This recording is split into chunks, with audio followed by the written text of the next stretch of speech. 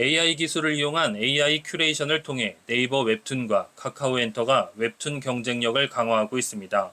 카카오 엔터가 운영 중인 헬릭스 큐레이션은 AI를 통해 이용자 취향과 성향을 분석하고 작품 추천 화면을 최적화하는 기술입니다. 기술 도입 이후 추천 탭, 웹툰 탭, 웹소설 탭에서 광고 노출 대비 클릭 수가 각각 96%, 42%, 138% 증가했습니다. 네이버 웹툰은 AI 큐레이션을 지난 6월부터 정식 적용했습니다. 이 역시 맨 윗줄부터 이용자가 좋아할 가능성이 높은 작품을 배치하는 방식입니다.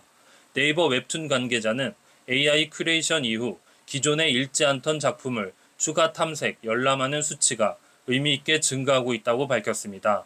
2024년 전 세계 웹툰 시장 규모는 10조 876억 원, 2032년엔 17조 원을 넘어설 것으로 예측되고 있습니다. 이 기간까지 웹툰 시장의 연평균 6.92% 성장할 것으로 예상되고 있습니다. 이에 애플, 아마존 등 빅테크 기업도 웹툰 시장에 진출하고 있습니다. 웹툰 시장 경쟁이 치열해진 가운데 이용자 친화적인 AI 큐레이션을 통해 네이버와 카카오가 경쟁력을 확보할 수 있을지 주목됩니다. 뉴스토마토 신상민입니다.